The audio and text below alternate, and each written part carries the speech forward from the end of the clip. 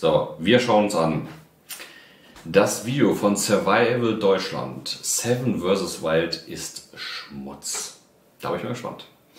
Survival Deutschland ist, glaube ich, einer der Kanäle, der mit am ältesten schon ist in Deutschland. Ne? Schon Ewigkeiten Survival äh, macht oder quasi Themen. Rein da, rein da, rein da, rein da. Clickbait-Titel safe, ja. Wir schauen uns das mal an. 16 Minuten 49 ist einfach nur noch Schmutz. Die Auswahl der Teilnehmer von Seven vs. Wild ist eine totale Katastrophe. Das Konzept von Seven vs. Wild wurde gerade eben zerstört durch die gesamten neuen Regeln, die da integriert worden sind. Was zur Hölle hat jemand wie Starlet Nova oder Knossi in einem solchen Format zu suchen? Und das sind nur ein paar der Kommentare, die man im Netz finden kann oder man mir sogar schon als Nachrichten geschickt hat. Aber ist das wirklich so? Ja, okay. Also Titel ist auf jeden Fall und verzeiht mir selbst, ich habe das ja manchmal so, dass man so ein bisschen Clickbait betreibt. Aber ich kann zu meiner Verteidigung sagen, ich suche die Titel und Thumbnail gar nicht aus. Ich sehe die F selber oft und denke so, uh, uh, uh, das ist zu viel. Hm, also, ihr wisst ja, ich habe nicht einen Titel und Thumbnail gemacht. Bei mir. Ähm, könnte ich wahrscheinlich gar nicht. Ja, und so Nachrichten, wollte kurz auf eingehen, habe ich auch ganz viele bekommen am Anfang. Ah, das kann nicht sein, Seven vs. Wie findest du das? Aber gut, wir schauen uns erstmal an. Darüber werden wir jetzt mal sprechen. Bleibt dran. Das Konzept Seven vs. Wild war ja in seiner Ursprungsform so gedacht gewesen, zumindest wurde es so nach außen transportiert, dass es immer darum gehen wird, sieben Personen für sieben Tage mit sieben Gegenständen in der Wildnis irgendwo auf der Welt ausgesetzt zu überleben, an Challenges teilzunehmen und dort maximale Punktzahlen zu erreichen, in der Hoffnung eben dieses Event für sich zu gewinnen. Durch die neuen Regeln hat sich das Ganze aber jetzt ein bisschen verschoben, was natürlich auch ein wenig den Teilnehmern geschuldet ist und natürlich auch der Location. Kommen wir also zum Teil 1, die Location-Auswahl. In der ersten Staffel war es ja so gewesen, dass die Teilnehmer sich in Schweden befunden haben, es dort relativ nass kalt gewesen ist und sie in ihren Ressourcen, was Nahrung angeht, relativ limitiert waren. Sie hatten im Grunde nur Beeren zur Verfügung und bei gutem Glück auch eben Fische. In der Karibik oder wo auch immer das stattfinden wird, auf einer tropischen Insel eben, sieht die Welt natürlich ganz anders aus. Dort ist die Nahrungsvielfalt um ein sehr Vielfaches größer. Ja, okay, geht natürlich auch ein, warum jetzt die Regeln halt anders sind. Aber ich denke auch, Seven vs. Wild letztes Jahr war halt einfach ein Versuch oder ein Versuch, eine Idee, die umgesetzt wurde. Und ich glaube, keinem war so bewusst, dass das Ding so durch die Decke geht. Und ich finde die Regel tatsächlich auch echt okay. Also klar würde ich gerne reingehen ähm, mit sieben Gegenständen, aber so viel bräuchte man tatsächlich gar nicht. Also unfassbar sicher würde ich mich fühlen mit drei, Schrägstrich vier, Feuerstahl, Messer, Mückennetz oder Wasserfilter. Und dann wäre schon eigentlich alles super. Alles, was anders darüber ist, ist ja schon fast Luxus. Aber schauen wir erstmal weiter rein. Und es wird aller Voraussicht nach auch etwas wärmer werden, als es in Schweden gewesen ist. Check. Aber ist es denn letztendlich dann tatsächlich so, dass es dann wärmer sein muss? Und das ist so ein Punkt, den ich stark anzweifle. Und da würde ich gerne mal ein bisschen ins Detail hineingehen. Ich weiß nicht, wie viele von euch schon einmal ein, zwei, drei Tage in den gleichen Klamotten verbracht haben, die durchfeuchtet gewesen sind von der Gischt vom Meer und sich ein Salzfilm auf euch abgelegt hat. Nach einer ganzen Weile fangen nämlich diese Klamotten an, nicht mehr trocken zu werden, bis du sie mit Süßwasser wieder ausgewaschen hast. Dieses Salz hält die Feuchtigkeit in den Klamotten drinnen und hat die dumme Angewohnheit nach einer geraumen Zeit, das braucht gar nicht mal so viel Zeit, so zwei Tage, drei Tage aller spätestens, fangen die Klamotten an hart zu werden. Genau, alles voll Salz natürlich drin ist. Jetzt kann man natürlich sagen, die erkennen das vom Meer aus. Ja, ein bisschen Salz für die Haut ist gar nicht so schlecht. Aber man muss eins sagen, ähm, Feuchtigkeit ist einfach ganz, ganz, ganz, ganz, ganz, ganz schlecht für das Survival-Leben. Die werden richtig knusprig und werden sehr, sehr unangenehm über die Dauer der Zeit am Körper zu tragen. Googelt da mal ähm, Dschungelkampf und Füße im Dschungel, da gibt es so richtige Mockfüße, so richtig aufgeschwemmt, da gibt es richtig äh, Nässebrand, alle die im Bund waren, kennen das vielleicht schon, wenn man ganz, ganz lange die Stiefel anhat und nicht die Füße trocken legt. Deswegen ist das Schuhwerk mega wichtig. Was für Schuhe, die ganz, ganz schnell trocken werden, die keine Feuchtigkeit drin halten, keine dicken, festen ähm, Wanderstiefel. Damit fängt es schon an. Und ich bin mal gespannt, ob die Leute auch oft genug ihre Füße trocknen. Und irgendwie vielleicht auch die Klamotten sauber bekommen. Aber Feuchtigkeit im Dschungel killt, da gibt Bilder. Google das mal. Und dadurch, dass du immer dieses klamme Gefühl auf den Klamotten hast, hast du natürlich dann spätestens nachts immer das Problem, dass du ja, einfach auskühlen wirst. Ja. Ich denke also, dass das Problem der Kälte für einige Teilnehmer noch wirklich interessant werden wird. Genau, und zwar Kälte nachts. Und deswegen bin ich gespannt, mit was für Klamotten die alle reingehen. Hinzu kommt auch, dass du auf einer karibischen Insel oder auf einer tropischen Insel, anders als in Schweden, äh, der Gefahr ausgesetzt bist eines wirklich starken Sonnenbrandes. Leute wie Knossi als Beispiel, und das wäre auch mein größter Endgegner in diesem Szenario, wäre tatsächlich die Sonne und die Gefahr zusätzlich zum Sonnenbrand noch zu einem Hitzschlag. Falls du jetzt einen leichten Hitzschlag haben solltest, der muss noch nicht mal wirklich stark ausgeprägt sein, aber du hast einen Sonnenbrand und klamme Klamotten und du bist ja dort auch noch in der Regenzeit, also eine hohe Luftfeuchtigkeit ist durchaus möglich, wirst du nachts tatsächlich echte Probleme bekommen können. Ob du die Gefahr hast, dann wirklich Erfrierungserscheinungen zu bekommen, das stelle ich jetzt einfach mal dahin. Aber deine Nächte werden auf jeden Fall maximal unangenehm werden. Genau, man spricht hier von Hyperthermie, ne? also Unterkühlung des Körpers. Und das geht auch in solchen heißen Regionen. Und vor allem, wenn ich einfach feuchte Sachen habe, dann vielleicht noch Wind geht und es einfach ein paar Grad nach unten geht. Und das kann tatsächlich auch trotz in solchen Regionen zu ähm, Unterkühlung fühlen, Müdigkeit, Nahrung, richtig, Temperaturempfinden. Wenn ich nichts zu essen habe, mein Körper fährt eh runter, die ganze Verdauung, dann ist das ein Thema. Deswegen nehme ich eine ganz, ganz große Jacke mit. Hypothermie. Da ist auch wieder ein großer Unterschied Check. zu den Gebieten, in denen man sich befindet die Gefahr des Sonnenbrandes, der Dehydration und des Hitzschlages sind auf einer tropischen Insel natürlich exorbitant größer, als es in Schweden gewesen ist. Und die Gefahr ist wirklich mehr als nur potenziell. Ja. Persönlich stufe ich für dieses Event diese Location auf einer tropischen Insel deutlich einfacher ein, als es in Schweden gewesen ist, in bestimmter Hinsicht. Die potenzielle Gefahr deines Umfeldes ist auf einer tropischen Insel zwar deutlich größer, aber du wirst auch dort deutlich mehr Ressourcen zur Verfügung haben, um dein Leben um ein Vielfaches zu vereinfachen. Ja, stimmt schon. Also ich kann den Ansatz irgendwie verstehen, aber ich, was ist wichtig zum Überleben? Essen ist überhaupt nicht wichtig. Und wenn ich da Ressourcen von Essen habe, ist das schön. Und das Wichtigste ist eigentlich, dass ich Wasser habe, denn damit komme ich nur drei Tage. Wenn ich nichts habe. Maximal ohne Wasser. Und das war in Schweden nicht so. In Schweden war Wasser en masse vorhanden.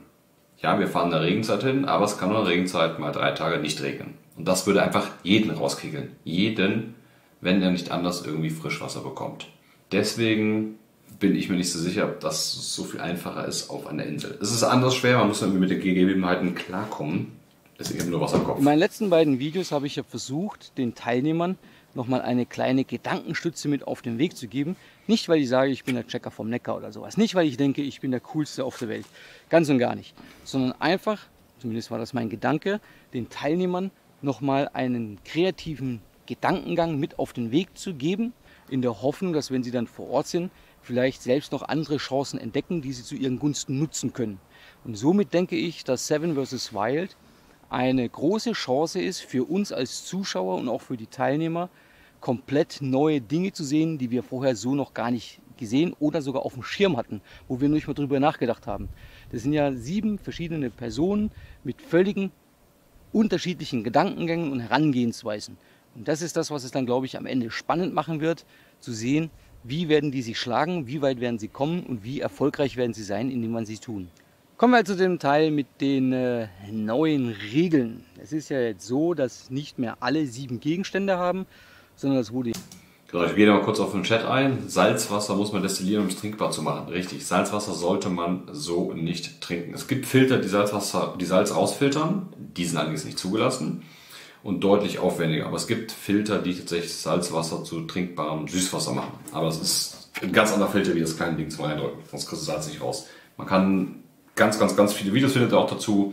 Aus Salzwasser Süßwasser machen, kochen, Verdunstung, den den Wasserdampf auffangen, man kann Wie kann man Salzwasser, also Salzwasser, was habe ich schon mal ausprobiert davon? Durch Verdunstung habe ich schon mal gemacht, mit so einer Plane, da kommt aber nicht so viel zusammen, wie man vielleicht denkt. Also du verkochst da unten irgendwie zwei Liter Wasser, aber es kommen bei nur 100 Milliliter an, tatsächlich. Äh, man könnte mit einer Konstruktion aus mehreren Plastikflaschen und kochendem Wasser das irgendwie durch so ein Rohrsystem leiten, wie bei so einer Destille. Da würde wahrscheinlich deutlich mehr zusammenkommen. Also was habe ich da natürlich gar nicht. Aber Salzwasser, Süßwasser, ja, gibt es tatsächlich mehrere Sachen, ja aber nicht so einfach und man braucht echt eine Menge. Vom Meer entfernten Loch graben, angeblich soll das salzfrei sein. Jein, glaube ich. Ja, aufgeteilt durch ein Ranking, dass man sagt, ja, von 1 bis 7 runter. Der eine hat 7, der andere hat nur einen Gegenstand und alles, was so dazwischen ist.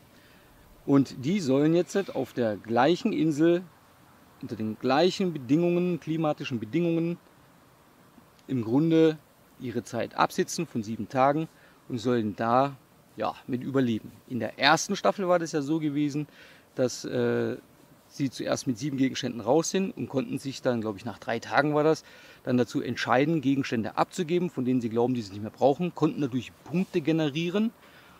Das fand ich tatsächlich in der ersten Staffel auch wirklich gut, ehrlich gesagt, dass man sich selber sagen konnte, okay, was geben wir hier ab? Und ich meine, nicht jeder hat das so genutzt, es geht, man geht natürlich mit einem anderen Gefühl rein, wenn man weiß, hey, ich habe diese sieben Gegenstände und kann hier einfach abgeben. Ich hätte eh welche abgegeben. Einer ist schon echt hart, das muss man echt sagen, ja. Und sich, äh, glaube ich, teilweise auch einen kleinen Vorsprung dann rausarbeiten oder gleichziehen mit anderen und äh, haben dann den Rest der Zeit mit den Überbleibsel sozusagen ihre Aufgaben durchgeführt und haben überlebt. So, jetzt hat man sich dazu entschieden, von vornherein schon zu sagen, ein Fritz und ein Otto, die haben jetzt jeweils nur einen Gegenstand dabei. Jemand Knossi hat sieben Gegenstände dabei. Wo soll da noch die Fairness liegen? So wie ich es verstanden habe, liegt die Argumentation jetzt darin, dass man sagt, wenn ein Fritz Meinecke mit sieben Gegenständen rausgehen würde, wäre das für ihn ja ein Campingurlaub, während für Knossi vielleicht zehn Gegenstände noch angenehmer, noch besser werden. Ja? Sehe ich tatsächlich auch so. Mal ehrlich, wenn Fritz und ich mit sieben rausgehen würden, wäre das schon Luxus pur. Also für mich würde es sich tatsächlich echt wie Luxus pur anfühlen. Ja, das kann ja gut sein. So. Ähm, also. Und der Chef schreibt, ja, aber ich habe nur einen, weil bei mir der Gürtel entschieden hat. Ja, ich wollte mich halt nicht für Fritz setzen und habe den Gürtel entscheiden lassen. Den Würfel. Aber glaub mir, hätte ich die, eine andere Zahl gewürfelt mit zwei Gegenständen, hätte ich ihn einen abgegeben. Ich lasse mir doch von Fritz hier nicht äh, die Butter vom Brot nehmen. Muss schon gleich sein. Was soll diese ganze Geschichte? Warum haben die sich dazu entschieden? So wie ich es verstanden habe, geht es eben darum, durch den Mangel an Ausrüstung eben eine Vergleichbarkeit wiederherzustellen. Das heißt, für den Fritz Meinecke und für den Otto wird es natürlich um ein Vielfaches schwerer, an gleiche, ähnliche oder noch bessere Ergebnisse zu kommen, als jemand wie Knossi. Check. Hm, das wirft jetzt allerdings ein paar Fragen auf. Wenn ich also schon weiß, dass ich auf dieser Insel nur einen Gegenstand benötige, wie groß ist dann die Challenge, tatsächlich auf dieser tropischen Insel sieben Tage zu überleben, wenn ich von vornherein schon weiß, ich brauche nur einen? Und die zweite Frage ist, wie ist man dann auf diese Teilnehmer gekommen, wenn man sagt, man muss die Regeln ändern, um eine Gleichbarkeit herzustellen? Okay, gehen wir glaube ich erstmal auf die erste Frage ein, oder? Also, naja, die, was haben wir denn in der ersten Staffel für Challenges gehabt, wo die Gegenstände völlig irrelevant waren? Challenge, Steine bauen, Steinturm bauen, völlig irrelevant.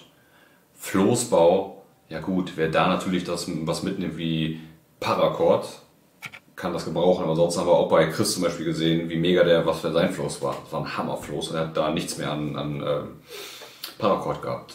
So, was hat man noch gesagt? Insekten essen, brauchst du auch keinen Gegenstand zu. Fackel aus Natursachen, richtig, brauche ich auch keinen Gegenstand. Ja, schnell schwimmen an Land, also brauche ich auch keinen Gegenstand. Sind wir bei fünf. Stein haben wir schon. Wir haben Stein, wir haben Insekten, wir haben Floß bauen, äh, wir haben schnell an Land schwimmen, da war doch nicht mehr viel. Feu ah, Feuerbohren, genau. Feuer Feuerbohren wäre Gegenstand natürlich schon von Vorteil. Zumindest mal ein Messer zu haben oder Schnur. Im letzten Jahr hätte man keinen einzigen Gegenstand gebraucht. Also ist die Frage ja irgendwie, jo, man braucht keine Gegenstände. Oder sehr wenig dafür. Gegenstände abgeben, da braucht man sie. Ja, das stimmt. So Gegenstände abgeben. Also wenn Fritz und ich, wenn es die Challenge gibt, gibt Gegenstände ab, um Punkte zu bekommen, dann wird es bei uns eng. Und da wäre ich mal gespannt, ob Fritz dann einen Gegenstand abgeben würde.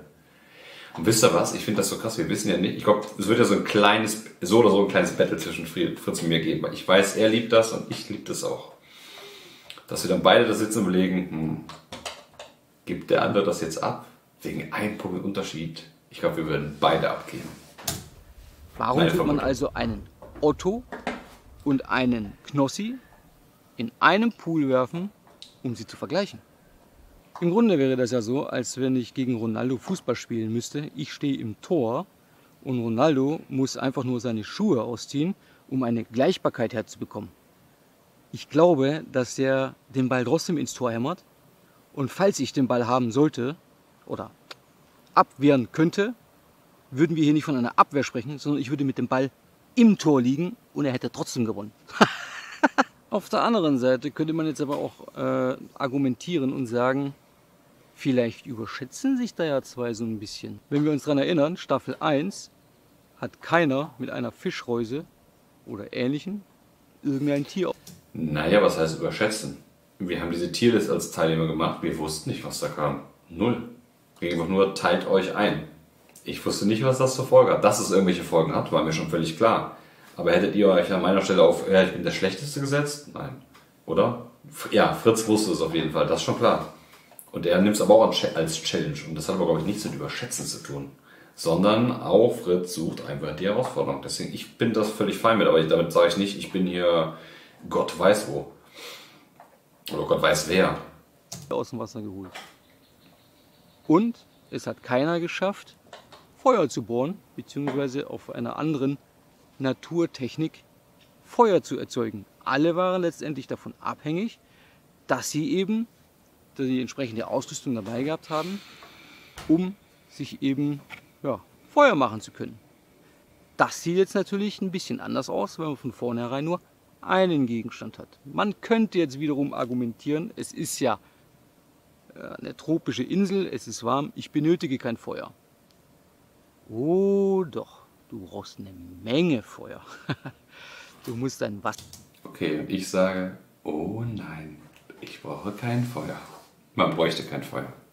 Das ist bei vielen Hardcore-Survival-Lägen so, wo es einfach kein Feuer nötig ist. So, einer hat geschrieben, hast du eine Story von Fritz im so? Den hab ich tatsächlich. Dann haben wir sogar noch geschrieben. Und er so, hey, schau mal meine Story. Ich so, scheiße, okay, muss ich nochmal ran. Feuerbohren habe ich hingekriegt und ein paar Wochen, vor ein paar Wochen noch probiert. Es funktioniert auf jeden Fall, aber ja, ist nicht meine Paradedisziplin. Und zur Not gibt's halt einfach kein Feuer. Wasser abkochen. Du musst deine gefangene Nahrung musst du abkochen. Muss ich so auch nicht. Und du brauchst, wie vorhin schon erwähnt, nachts vermutlich, vielleicht nicht immer, aber oft, auch ein Feuer, um dich warm halten zu können. Also ganz so einfach wird okay, um es irgendwie vielleicht ein bisschen runterzudampfen.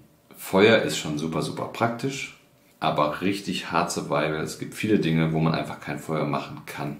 Also, jo, ich will damit nicht jetzt immer von irgendwelchen Lehrgängen erzählen, wo wir einfach mal null Feuer machen durften, mitten im Winter, klatschnass, keine Schlafsäcke, gar nichts. Man kommt da durch.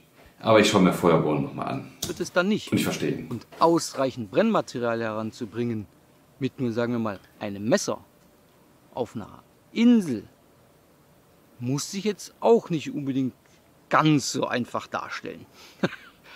Also es wird auf jeden Fall spannend, so Oder oder so.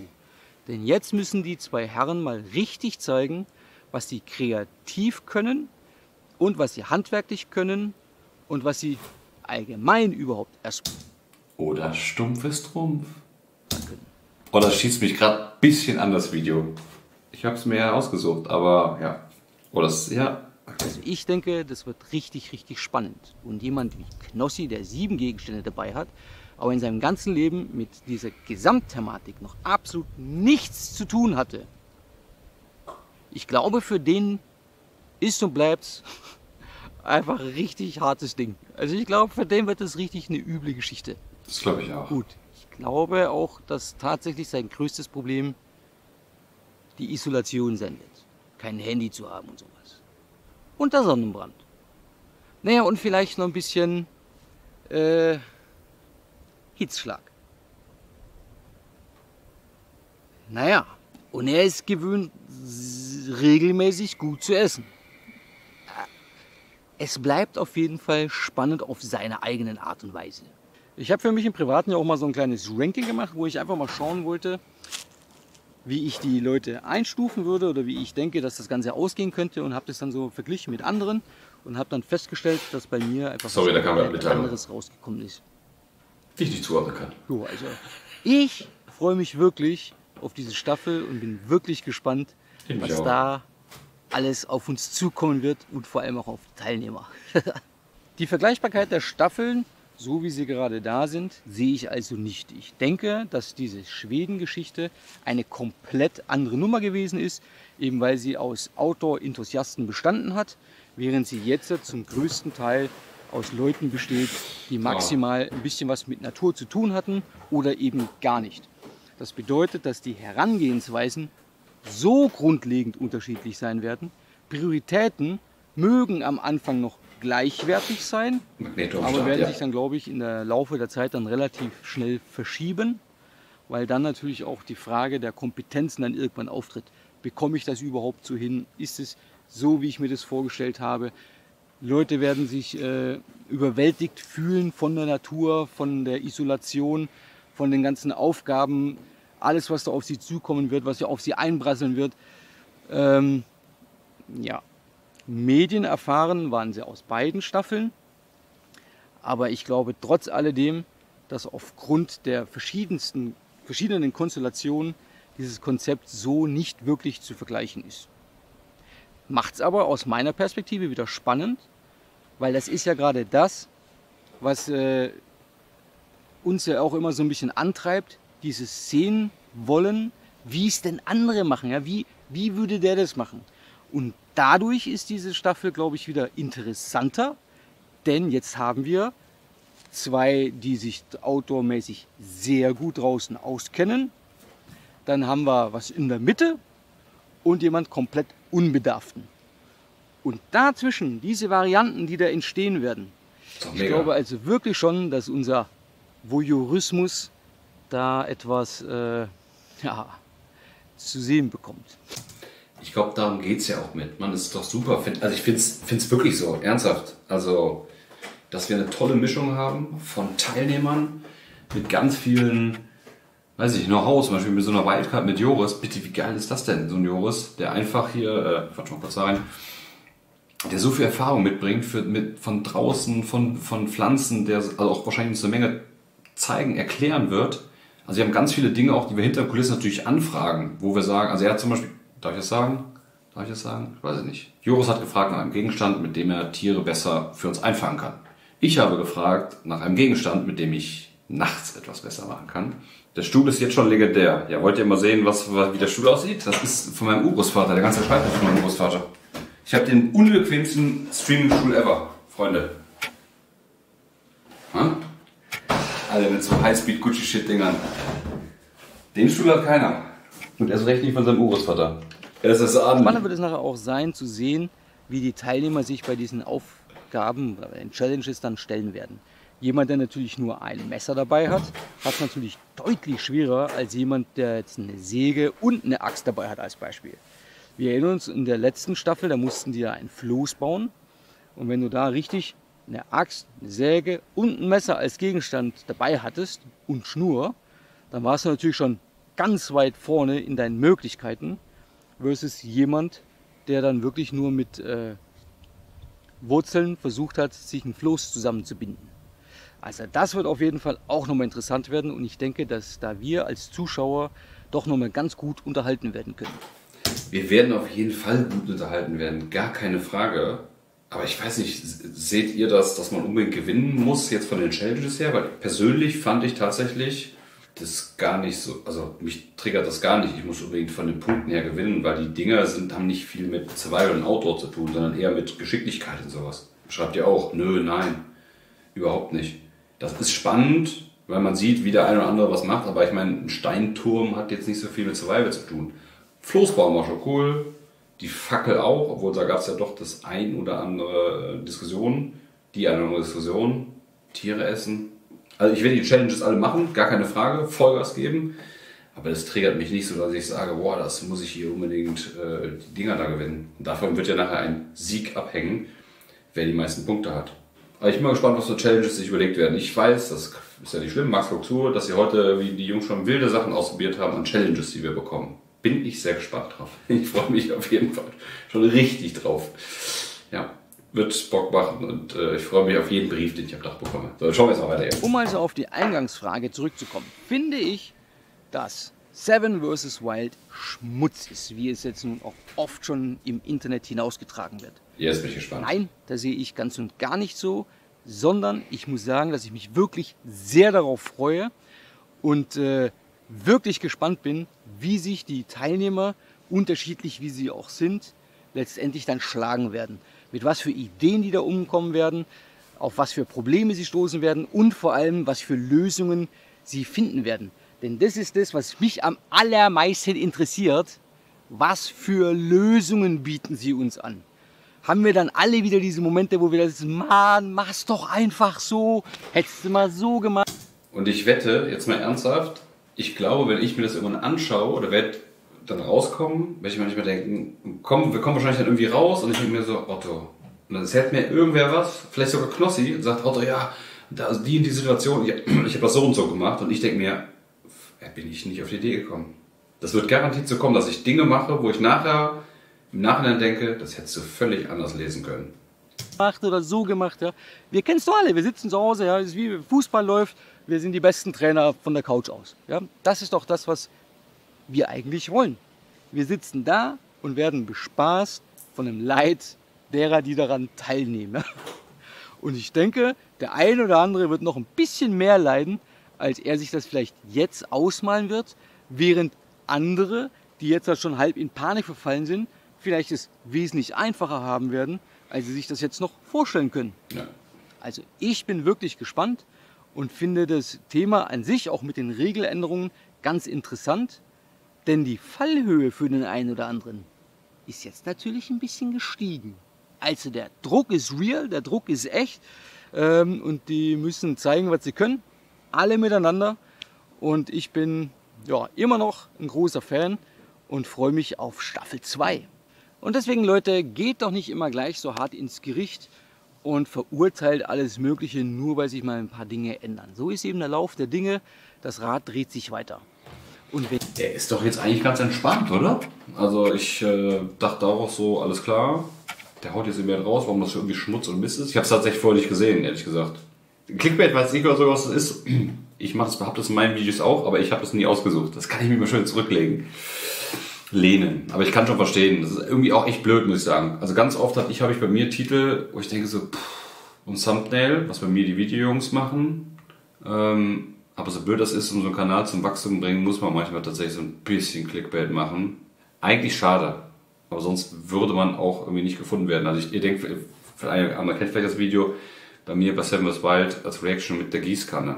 Ist ja irgendwie auch ein Clickbait, sich mit der Gießkanne hinzustellen. Oder war Clickbait, natürlich voll und ganz. Bei mir persönlich finde ich immer eigentlich nur ganz gut, dass dann der Inhalt so ist, dass man sagt, okay, alles klar, entspannt. Aber ich gebe euch voll recht, ey, wenn ihr schreibt, Clickbait nervt, nervt. Voll. Ich kann es voll verstehen. Ich werde probieren, das immer, immer, immer weniger zu machen. Denn dank euch wächst es ja langsam, oder nicht langsam, sondern sehr, sehr schnell. Ja, ich weiß, Clickbait nervt. Finde ich auch nicht cool. Wenn ihr jetzt einen kleinen Abo-Knopf unten drückt, werdet ihr auch kein weiteres Video von mir verpassen, denn die Show hier. So, kleine Zusammenfassung von ihm hier. Survival Deutschland, Survival, äh, er findet Survival nicht Schmutz und ich gebe ihm recht, Fallhöhe ist hoch für den einen oder anderen, für mich zum Beispiel oder für Fritz. Für uns erwartet man sehr, sehr viel. Wir haben auch nur einen Gegenstand. Andere machen sich vielleicht viel zu sehr im Kopf und kommen locker durch. Mal schauen, wer am Ende recht behalten wird. Bei ein paar Dingen gebe ich ihm persönlich nicht ganz recht. Ähm, was so das Feuer angeht. Denn ich weiß, man kommt auf jeden Fall auch ohne Feuer durch. Stumpfes Trumpf am Ende. Da war auf jeden Fall ein cooles Video. Was ein cooles Video? Auf jeden Fall Meinungsäußerungen und ähm, kann ich voll und ganz verstehen. Survival Deutschland.